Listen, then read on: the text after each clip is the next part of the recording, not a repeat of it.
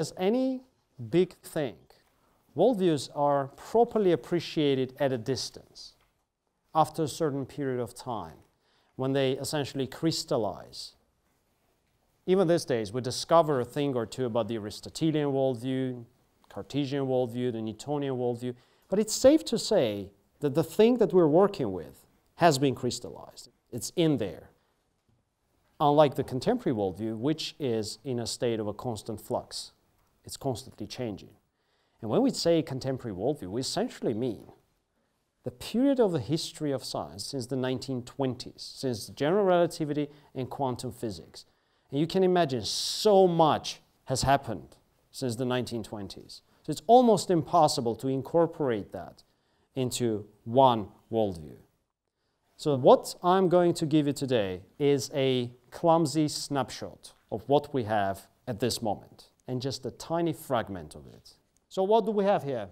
We have quantum physics, general relativity, cosmology, chemistry, genetics, biology, neuroscience, psychology, sociology, economics, history, mathematics, hypothetical deductive method. I'm going to start with this one, neuroscience. When it was established in the early 1900s, it brought about a very important transition from dualism to the contemporary view on the subject. If you ask the scientific community, how would you explain ideas, thoughts, emotions, anything that has to do with the human mind? Let's say thoughts, emotions, feelings, they cannot exist without some material substratum. It can be a brain, it can be a processor, anything, but there must be something material that holds and produces the thoughts. The thoughts cannot exist independently of something material. So we believe that psychological phenomena are produced by the processes in the brain. Now, individually, again, at the individual level, especially if you have a religious worldview, you may be inclined to believe that mind can exist without material body, but we're talking about the views accepted by the community, implicit in our theories. And this is one of the things that is implicit in our theories. We believe that anything we think must be somehow connected to what happens at the level of the brain. Essentially, the processes in the brain are interactions between neurons it's fair to say that we do not quite understand the exact nature of the correspondence between thoughts and interactions between neurons. We do not quite understand how to produce a certain line of reasoning by manipulating certain neurons. We're not there yet. But one thing we seem to accept is that anything that happens at this higher level, at the level of thoughts, must be at least somehow connected to the level of neurons that you cannot have thoughts without something happening at the level of neurons. How do we know this? Because our neuroscience seems to tell us that. It's implicit in our contemporary neuroscience that the mind is a product of brain processes. They may or may not formulate it in this way, but this is what any working scientist has in mind, or in brain, should I say. so what is the view implicit in this? This is the view that we call materialism. Another name for this is ontological physicalism, but I like materialism better. Essentially, it says that there is only one substance, and that substance is matter. Which view, implicit in the Newtonian and Cartesian worldviews, did this replace? Dualism. Right.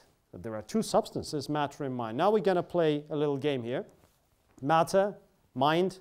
According to dualists, there are purely material entities. Inorganic matter, it could be organic, it could be animals. And there are purely spiritual entities. It could be angels, could be the creator. And there are citizens of two worlds, material and spiritual creatures, like human beings.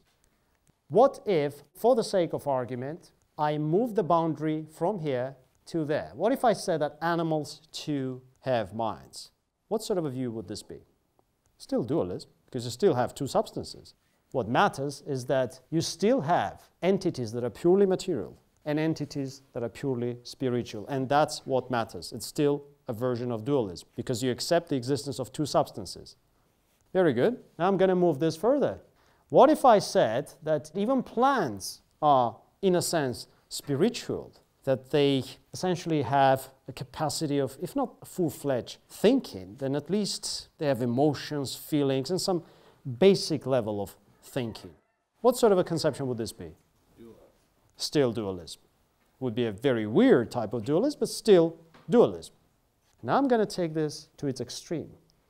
I'm going to say that even inorganic matter is, in a sense, spiritual. What sort of a view would this be? Essentially, in this case, you no longer have things that are purely material. Everything has a mind, but not everything has a body. And this is the view that is known as idealism. There is only one substance, and that substance is mind. So, mind can exist on its own, but in order to have something material, you need to have a mind that lays in the foundation. Rob, you had a question? I find the view a little confusing because you're still saying there's matter in mountains, trees, and animals and humans. So by matter, do you mean something different in this case if it's idealism? Not really. Now, idealists do not deny the existence of matter, do not necessarily deny. What they do deny is that matter can exist on its own, can exist as an independent substance. What they're saying is that all that exists is essentially spiritual. So this is all fundamentally mind. There are different versions of this. One version is normally known as subjective idealism, is this is the idea that everything that you see only exists in your mind. It's only your feelings, emotions, it's only your sensations. Okay, so this is one version of it. But you shouldn't really go that far in order to be an idealist. You can say everything that exists, material things, yes, they do exist. But at the foundation, they are spiritual. They require some universal intellect to hold these things. So they only exist insofar as their existence is maintained by something spiritual. Let's go back to dualism here. What if I said that I believe that there are angels, but that they also have material bodies? what sort of a viewpoint would this be? Dualism, because there's still two substances, because you still believe that you can have something purely spiritual and something purely material. Now I'm going to push this all the way to the right. What if I said that I do believe that there are gods, or there is God, but he is also material? He's not pure mind, he's not pure soul, that he's more like that. What sort of a viewpoint would this be? This is what we call materialism. Now, materialism comes in different flavors, and this is not the version of materialism that you normally have in mind when you talk about these things. The version of materialism that you normally have in mind is something like this that you have the material world, everything is material, and then at a certain stage of development of this material world, you arrive at certain species that have brains such that are capable of producing thoughts, rational reasoning, theories.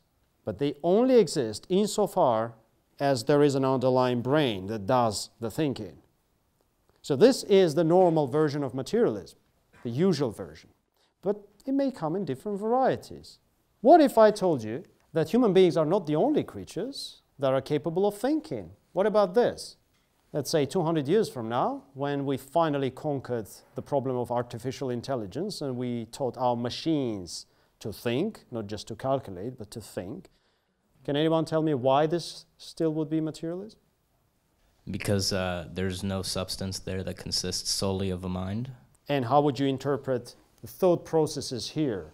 You need the matter existing in order for the thought process to be implemented into the entity. Essentially, yes. It can be your Asimovian positronic brain or it can be some network of neurons. It doesn't really matter. As long as there is something material that does the thinking, that's materialism. And we can also think that there are aliens who are capable of thinking still would be materialism because you have the material substratum that does the thinking.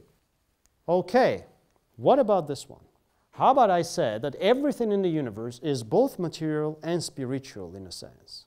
That God is universe and universe is God, and there is nothing in the universe that is not divine, and there is nothing divine that is not in the universe, that they cannot exist without each other. They are two sides of the same coin. There has been such a belief, and it's quite popular especially among professional philosophers. This is the view, and it is called neutral monism. It's the idea that there is one substance, and that substance is both material and spiritual, that they cannot exist without each other, that they are two parts of the same thing. So here are the two questions that separate these four views. Question number one Is mind a substance? Can mind exist without any material foundation? Can you have souls without bodies? Can you have thoughts without brains? This is the question. You can answer yes or you can answer no. And there's the second question Is matter a substance? Can you have something material that is not ideal in any way, that does not require any thoughts, any feelings, any spiritual foundation? Again, you can have yes and no. Now you tell me, if I say yes, if I answer yes to both questions, what view would this be? Dual. Dualism, exactly. If I say yes, I believe that matter is a substance, but for thoughts, for mind, you need something material, what view would this be? Materialism. Materialism. This one, if I say yes to mind but no to matter, idealism. And finally, this one would be neutral monism. Is this clear? Let's play a game here. How many dualists do we have here? Okay, not, not too many. How many idealists? How many people who believe that everything is spiritual essentially? How many? Oh, not very popular. Okay, how many neutral monists we have here? That it's all two sides of the same equation. All right, quite a few. And the materialists confess this proves my point. We live in the age of materialism. Right, I'm going to give you another diagram here. This time, same conceptions arranged by the number of substances that they accept. How many substances are there? You can say one, that would be monism. There is only one substance. You can say two, that would be dualism. And then you can say many, and this would be pluralism. It was implicit in the Aristotelian worldview, we covered this. They believe that every type of thing is essentially a different substance. Now, what about monism? It comes in three varieties, and you know the varieties materialism, idealism, and neutral monism. So they are all types of monism. Once again, it is this materialistic variety of monism that is implicit in our theories there is an open question here, which is can you really explain everything that happens at the social level or at the level of human culture, human thoughts? Can you really explain that, everything, just by analyzing the motion and the interaction of the neurons? This question is open. Some people say, as long as you know how neurons interact, you must be able to explain everything that there is to explain at the level of thoughts, at the level of the mind. Other people tend to believe that there is something at the level of human thoughts that is not really explicable in terms of chemistry, physics, biology. And this is an open debate. The communities seem to be divided here. But when it comes to the question of the substance, whether there are non physical substances, the community seems to be in agreement here that we do not believe that there can be non-physical substances, non-material substances, right? We do not believe that mind can exist on its own. We, as, as a scientific community, we don't believe in that. Very good then. Now, next important transition concerns the very concept of matter. If you compare the notion of matter implicit in the Cartesian mosaic was purely mechanistic, inert matter, a typical instance would be a billiard ball, no other qualities, just the capacity to occupy space. And then they switch to the Newtonian view, the dynamic matter, a matter that is capable of interacting through forces. Another important transition happened in the 19th century, and yet another one in the 20th century. I'm going to explain this. Here we have the classical experiment. You have a solid wall here, you have a wall with two slits, and here you have a golfer that hits blue tinted golf balls. So it's a macro level experiment, all right? What pattern will emerge after a series of hits here at this ball? Two blue lines, right? Should be like that. This would be the view from the top. So far, so good. What about this setting now? I'm going to close one of the slits. Only one of them is open.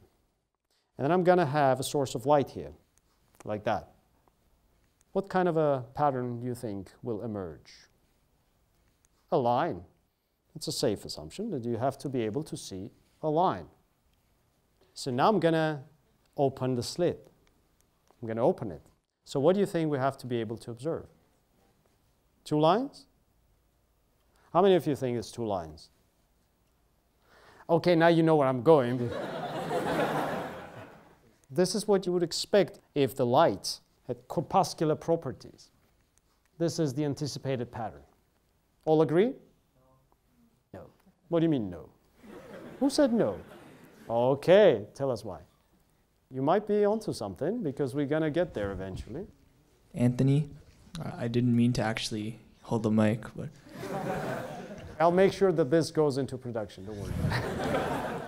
I'll be famous. Um, if the slit is narrow enough, you will get uh, diffraction patterns. Do you want this or do you want to cut? All right. send me an email, I'll send you my bank account. right, so in reality, you observe something like this. And this is where it gets crazy. How on earth you see something like this? This has no explanation if you think of light as a series of particles. If you think that light is a series of particles, then you have to be able to see two lines, just like in the case of a golfer and a tinted golf balls, right? Because it's all particles. What this example shows us that light is not really corpuscular. So what's going on here?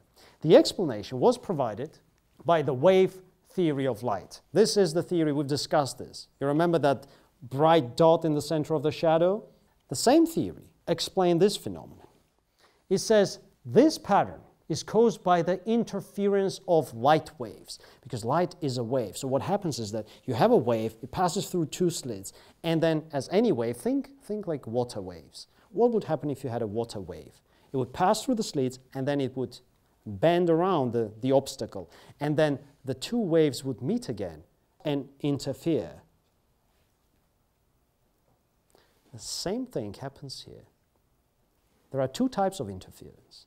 One type is called destructive interference. This is when the crests and troughs, you see, the crests and troughs of the two waves are out of phase. When it happens this way, they cancel each other out, and those parts of the screen are dark. And there is also constructive interference. This is when the crests and troughs are in phase, and this is when the two waves reinforce each other, and then you get bright lines. So this phenomenon was explained by the wave theory of light that was accepted for about 60 years in the 19th century. And after that, this theory became incorporated into what we nowadays call classical electrodynamics. Maxwell, Faraday. The same type of explanation was given in the classical electrodynamics. Light was considered a wave. This is the view. There are two types of matter, particles and waves. This was a transition from the Newtonian view that matter is just particles that interact through forces. In this view, you have two different types of matter. Some things are particles, other things are waves. Light, electricity, magnetism, those were all waves. And then you had the particles. They believed that there are two types of things. Some entities are thought to be corpuscular in nature, like this one, other entities were thought to be essentially wave-like.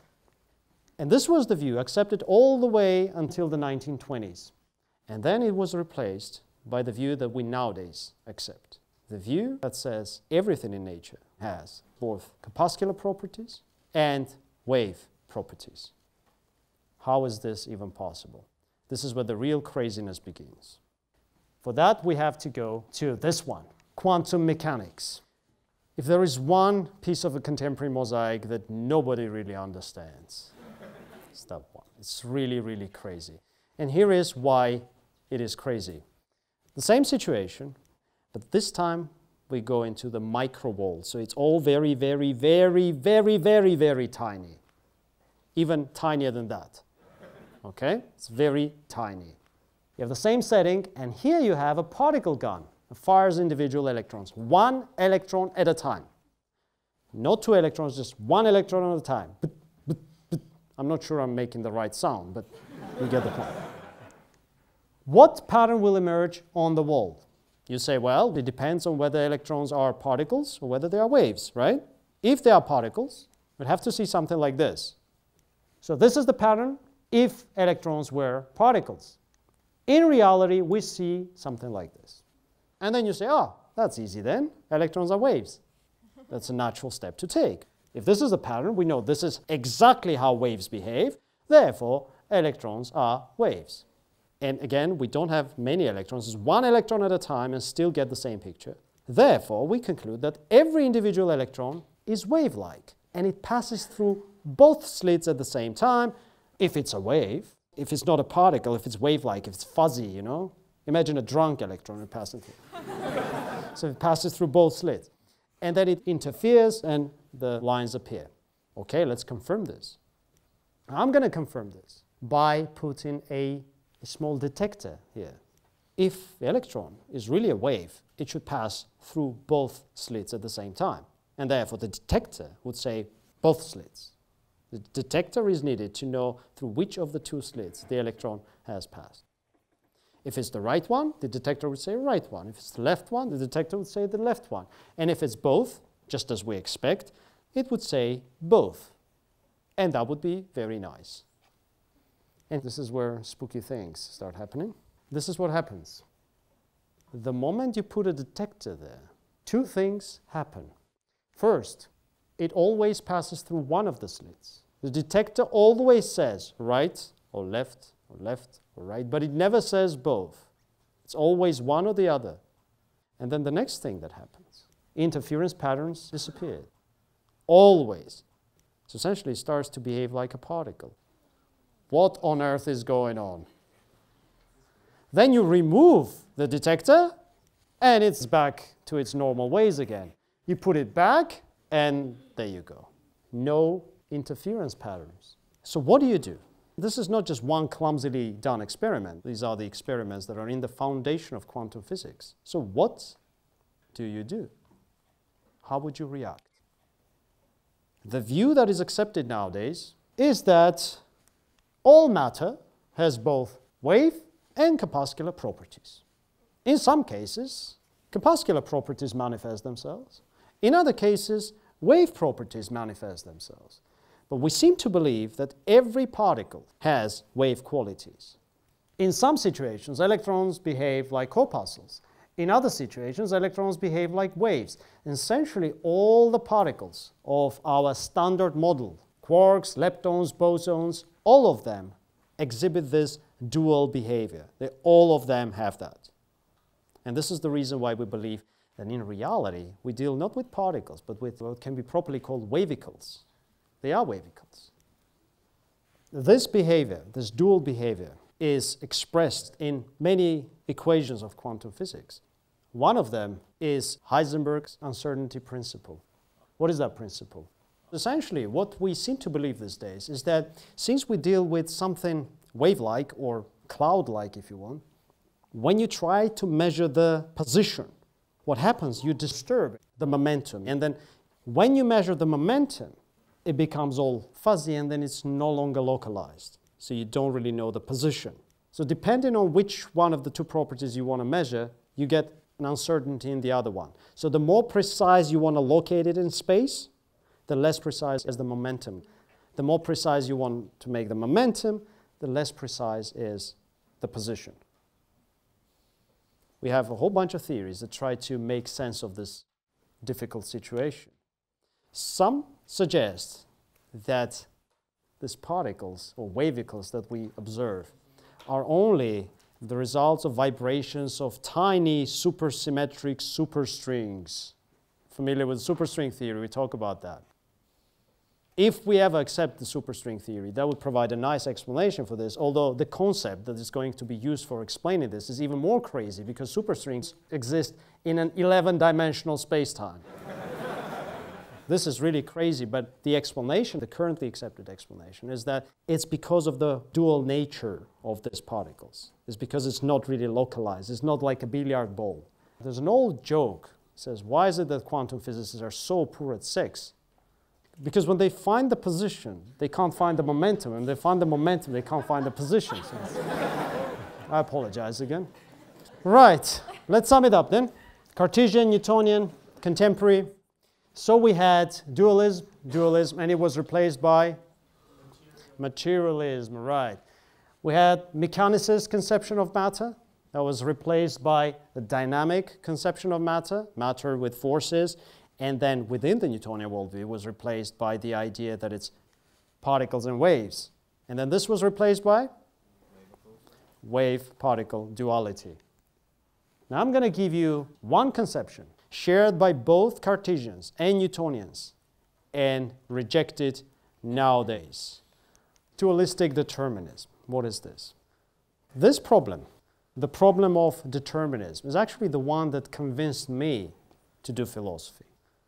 Essentially, the question is you have a system, let's say this, and then you manage to know somehow all of the initial conditions, the absolutely correct description of the current state. Forget about our fallibilism for a second, forget about the impossibility of that. Suppose, for the sake of argument, that you know everything that there is to know about the initial state of the system.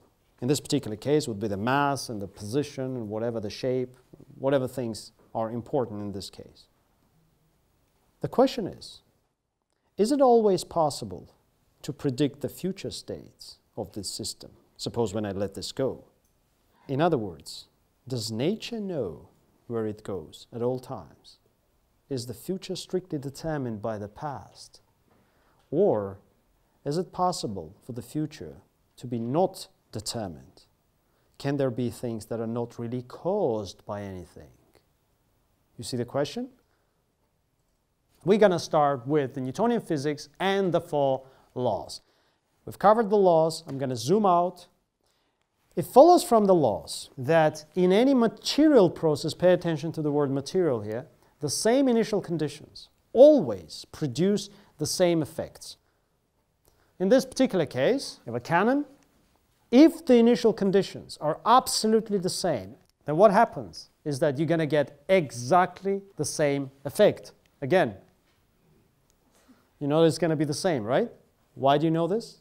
Because the initial conditions are the same. It's been pre programmed that way. The same initial conditions produce absolutely the same effects. This is what follows from your Newtonian laws. This is true for any material process. If you take, let's say, a very simple system, a falling apple, when you know the initial conditions of the system, in this particular case it will be masses and forces, you can in principle calculate and predict every future state of the system if you know the initial state. And even if you don't know, you can be absolutely sure that nature itself, nature itself knows where it goes. You, as a, as a student of nature, may or may not be in a position to do all the calculations because it might be so many different parameters. You may or may not have the knowledge required for that. But if you accept the Newtonian laws as the true descriptions of the world, then you also have to accept in any material system, the future state is determined, strictly determined by its current state.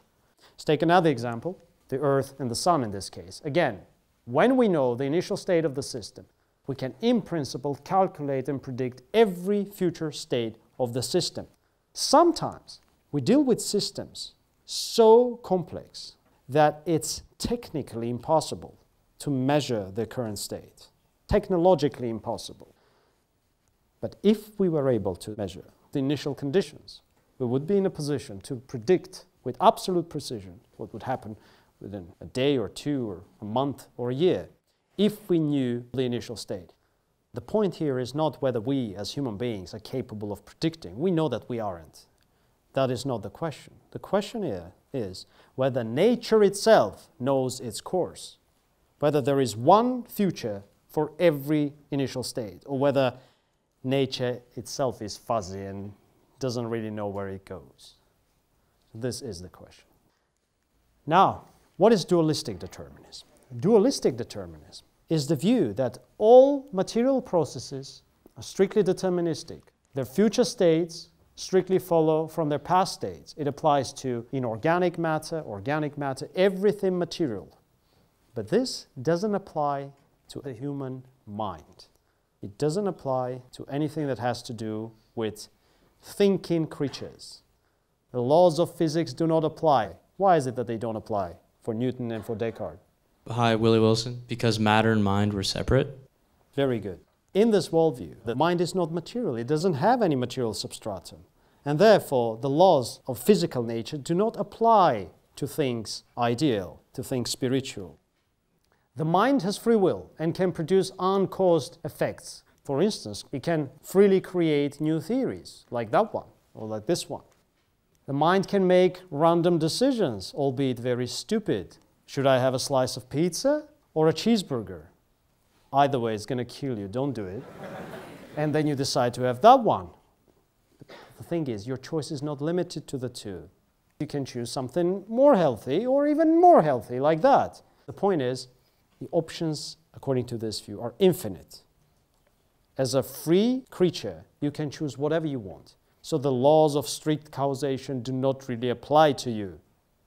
This is the view that we call dualistic determinism.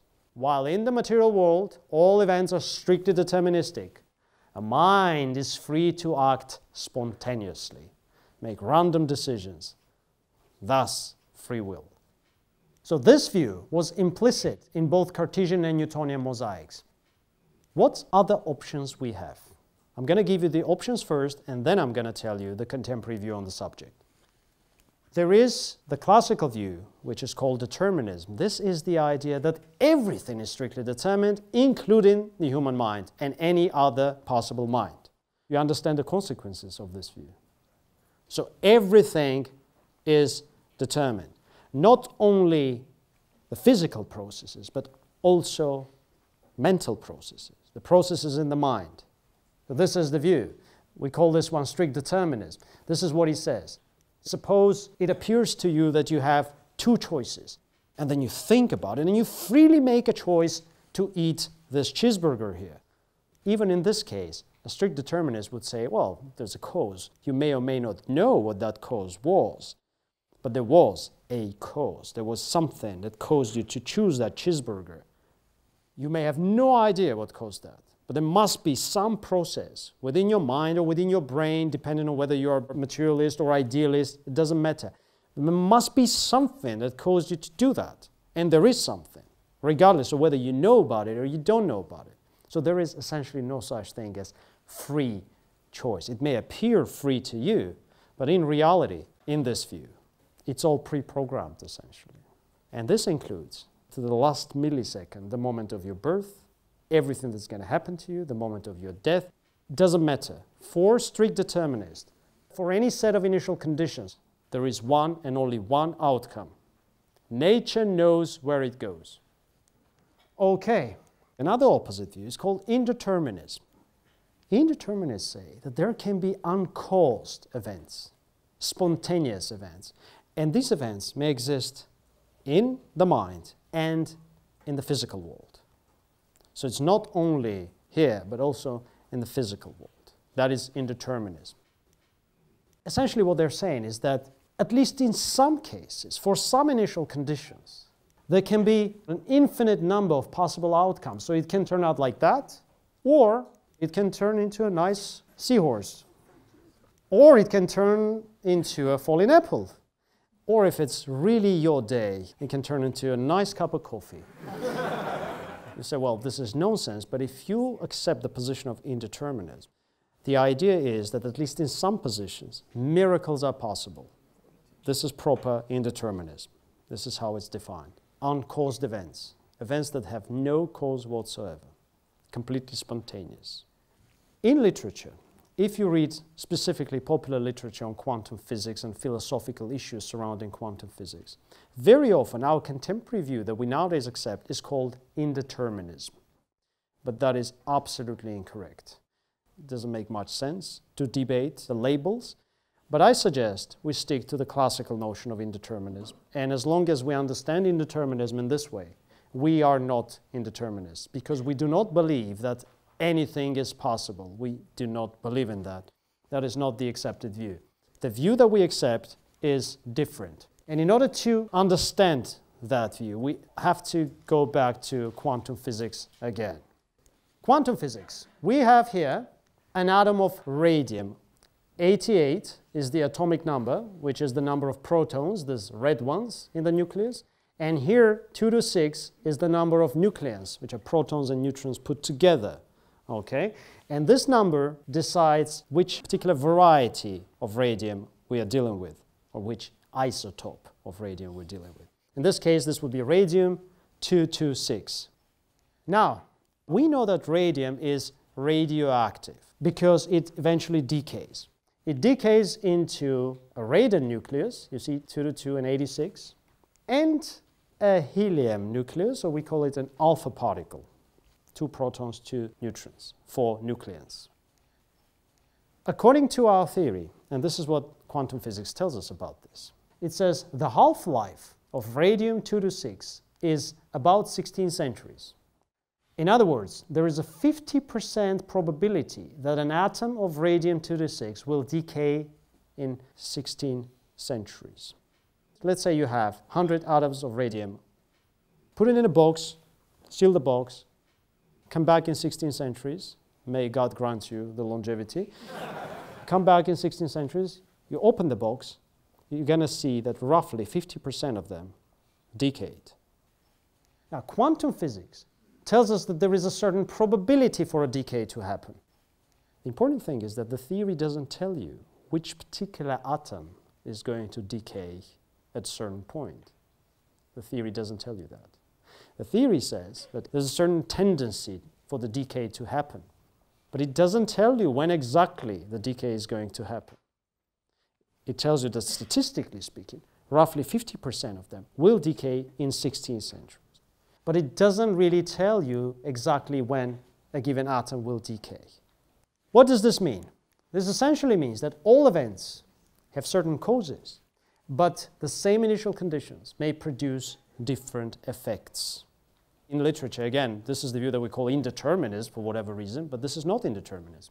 I'm going to use, for lack of a better term, this one probabilistic determinism. This is what he says. For any set of initial conditions, there is a limited number of possibilities. It can be like this, it can be you see a slight mutation here, or the number of offspring can be different, but it can never turn into a cup of coffee, even if it's your lucky day. Nature here chooses from a limited number of possibilities. The number of possible outcomes is limited. And this is the difference from proper indeterminism. If you're indeterminist, you don't have to say that nothing has a cause, right? That's not what you're saying. You still can believe that this thing, when you let this go, it has a cause.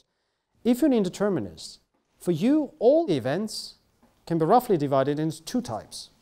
Those events that do have causes, and those very rare events which have no cause whatsoever. For an indeterminist, there are cases when anything can happen. And strictly speaking, it's the same as to say that there are cases when there are no causes. We believe that it has a cause. The cause is its structure, its atomic structure, the very nature of radium. That is the cause. It's just the cause doesn't determine the outcome with strict precision. It only determines the probability. The important point here is that it's not a lack of knowledge on our part. If you accept probabilistic determinism, you must believe that nature itself has an open course. Not very open, open to a certain degree. There are limited options, and at any moment of time, nature chooses from a limited number of options. So it's not us, human beings, that are incapable of getting to the essence of things, but it is nature itself that is not really sure about its course. So in this particular case, in 16th centuries, it can continue like this, or it can end up like that. But again, no seahorses are expected in this case. The options are limited. Well, in this particular case, it is impossible to say with certainty where a given electron will strike the screen after passing through the slits. But there is a high probability that it will strike in one of the bright bands. So if we look at this diagram, the top view, and this is your probability, this curve would represent the probability of finding an electron in different areas on the screen. So this is what the theory tells you. It tells you that this is the probability for finding it here, that's the probability for finding it there but it doesn't tell you where exactly it's going to happen. Now, those of you who know a thing or two about these things, you probably heard of a famous debate between Einstein and Bohr on the subject. Albert Einstein said in this situation, it's a limitation of human knowledge. It's you, as scientists, you don't know what's happening. But nature itself obviously knows the outcome. The improved technology, improved science, we may hope that one day we will conquer this issue and we'll know exactly when every single electron should strike the screen, when every single atom of radium should decay. So we will have precise, strictly deterministic predictions for these things. The accepted view, essentially, is the one that is not Einstein's. The view that we nowadays accept is that no, there are actual probabilities out there. My question is do you think that what Einstein says makes sense? How many of you think that Einstein's position actually makes sense? That it's only a limitation of human knowledge, that we will dig deeper and we, we will know the actual reasons and we will be able to calculate with absolute precision. How many of you support Einstein? Now, at a personal level, I may tend to agree with you, but there is a certain risk. When we take the step as scientists, I'm talking now not about my individual view, I'm talking about the scientific community and me as a member of that community. Individually, I may believe in anything, but as a scientist, I have two options. Either I say, this is what my current theories tell me, and this is what I have to accept. That's option number one. Option number two, which you always have, you can say, you know what, our theories are imperfect, and I'm going to stick to the belief that I have, regardless of what my contemporary theories tell me, because my contemporary theories are not the final ones. We are all fallibilists when we know they're not the final ones, right? This is option number two to stick to whatever belief is close to your heart, regardless of what your theories tell you. But you see, Einstein's strategy can be applied at any time, no matter what your scientific theories tell you. You can always say, oh, you know the theories are fallible, there is still a chance for God to exist. Yes, there is. At the individual level, you can believe whatever you want. But the scientific community doesn't have a choice. We have to stick to the theories that we have. Keeping in mind that these theories are fallible, but if we're talking about the scientific worldview, I think the proper option is to look precisely what our scientific theories have to tell us and accept the results. It doesn't mean, again, that individually you cannot say, well, there must be a different theory, I'm going to elaborate and work on that theory. I, for one, believe that there is more to the story than this picture allows.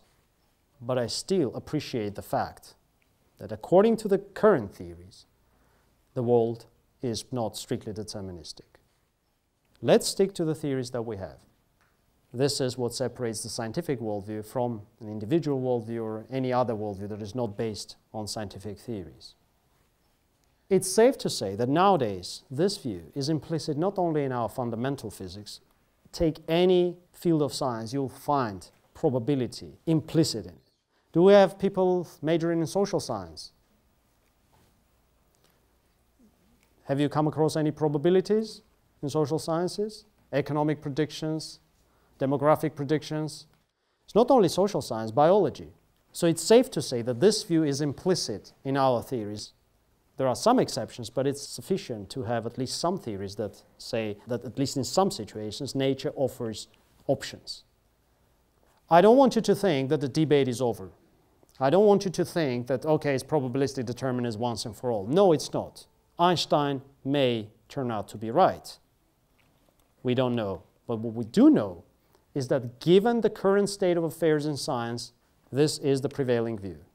It's a safe conclusion to make. It gives you a chance to work and elaborate different options. But again, the important thing here is that we have to be in a position to keep the score. You can work on whatever you want. You can pursue whatever idea you want. But you have to keep the score. Let's sum it up. So this was the initial question. Can there be uncaused events? Yes or no? Indeterminism, determinism. I'm going to move this. But then we also have dualistic determinism. And since you have the third view, my dear philosophers, you know that when there is a third view, there must exist another question to which this one says yes, and these two say no. How would you formulate the question that separates dualistic determinism from these two? How would you formulate it? In such a way that these two say no and dualistic determinists say yes. This is the way I would put it. Can causation and spontaneity exist in different worlds? Is the question of having the two but in different worlds. In one world, you have strict causation. In another world, you have free will, spontaneity. So, this is the idea that both of these views would say no. Strict determinist or indeterminist, you would say there's no such thing. There is one world, either it's all strictly determined or there are uncaused events everywhere. You can only stick to dualistic determinism if you believe in two substances, if you believe that the world is strictly cut into the material part and the spiritual part. But you cannot really have this if you believe in one substance. We're going to zoom out. Now we have a different view, probabilistic determinism. And this view brings another important idea that all of the previous ones would say no, it cannot be. What is the idea that probabilistic determinists introduce? How would you formulate a question that separates probabilistic determinism from the three other views? So there must be something in probabilistic determinism that all the previous views would consider unacceptable. It's the idea of non-linear causation, it's the idea of an open causation. It's the idea of the causation such that the same initial conditions produce different effects, limited number of different effects. And this is an idea foreign to strict determinists, indeterminists, dualistic determinists. If you asked Einstein, he would say, no, no, this idea is nonsense. It's a contradiction in terms. If something has a cause, then it has to follow from that cause in a straight line. If something doesn't have a cause, then it doesn't have a cause. The idea that something may have a cause and yet follow from that cause in an open fashion, in a non-linear fashion, is a contradiction in terms for any of these views. You see? So you can only accept probabilistic determinism if you believe that the same initial conditions can bring about different effects. Very good. Tell me, which element of the Cartesian, Newtonian, and Aristotelian worldviews is no longer part of our mosaic? It's theology. It's theology was part of the scientific mosaic all the way until the early 20th century. In different communities, it was different. In some communities, theology was separated from science in the 19th century, early 19th century. Some communities went all the way to 1920s, 1930s. But roughly, it's the beginning of a 20th century. Theism is the conception that God exists. The accepted view was a specific version of theism is the idea that there is one God, monotheism. It was this view that was implicit in the Cartesian worldview, in the Newtonian worldview, in the Aristotelian worldview.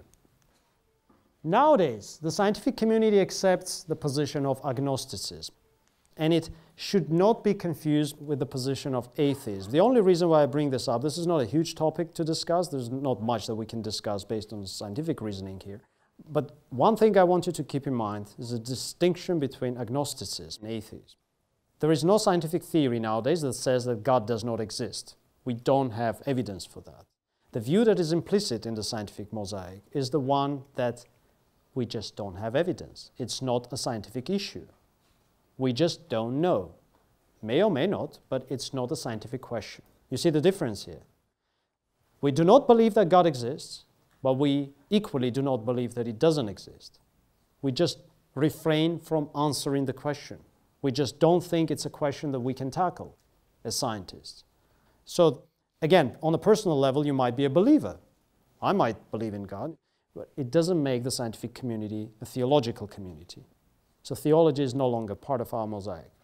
And it was replaced the idea of monotheism was replaced not by the conception of atheism, but it was replaced by the conception of agnosticism. The tough part here is that this question, why was theology exiled, doesn't seem to have a simple answer. We have all sorts of stories as to how it was exiled. It was a gradual process, it wasn't exiled in a day. The final one that was exiled was the proposition that, that there is a creator of the universe that was exiled, but it was the last to go. Before that, there were many others that gradually were exiled. So it was a gradual process, but essentially, we don't really understand the mechanism of it, and we do need to understand the mechanism. By the theory rejection theorem, you know the theory rejection theorem, it says that a theory becomes rejected from the mosaic if and only if it is replaced by some other theory. So, what was that element or a set of elements that entered into the mosaic which forced the theology out of it? So this question is not a simple matter. It could be biology, it could be something in physics, it could be, I don't know, I don't want to hypothesize, it's an open question. All right, let's sum it up then. Dualistic determinists, dualistic determinists, we have probabilistic. Monotheism, monotheism, we have agnosticism. I didn't touch upon the hypothetical deductive method because we've covered this on many occasions and we share the same method with the Cartesians and Newtonians. A few more things. Action by contact, action at a distance, and then we had plenism, vacuism here, we had infinite universe, infinite universe. What are the contemporary views on these issues? Why didn't I cover this? There is one reason why I didn't do that. I want you to tackle these issues on your own or by taking other courses. I'm just going to give you some hints here. Should quantum entanglement and non locality, these are the terms to Google if you're interested in these things, quantum entanglement and non locality be interpreted as instances of action at a distance? In general relativity, is space an attribute of matter or is it a separate substance? Is it plenism, is it vacuism, or is it something else? It's an interesting question.